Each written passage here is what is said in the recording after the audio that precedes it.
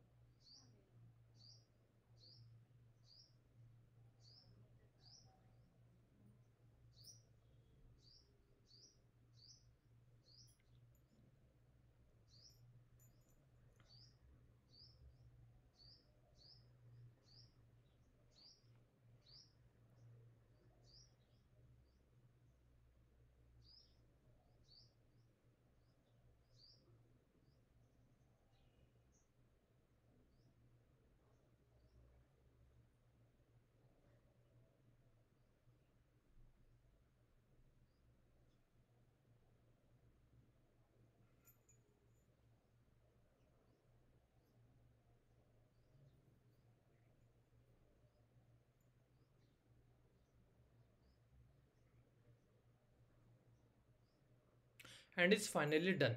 Now if you just come back to the lab instructions and click on the check my progress for each and every task you will get a score without any issue. And if the score is not updated for any particular task no need to worry. Wait for a couple of minutes and you will get a full score on this lab for sure. And that's the way we have to complete this lab. If you still have any doubts please do let me in the comment section. Thanks for watching and have a good day guys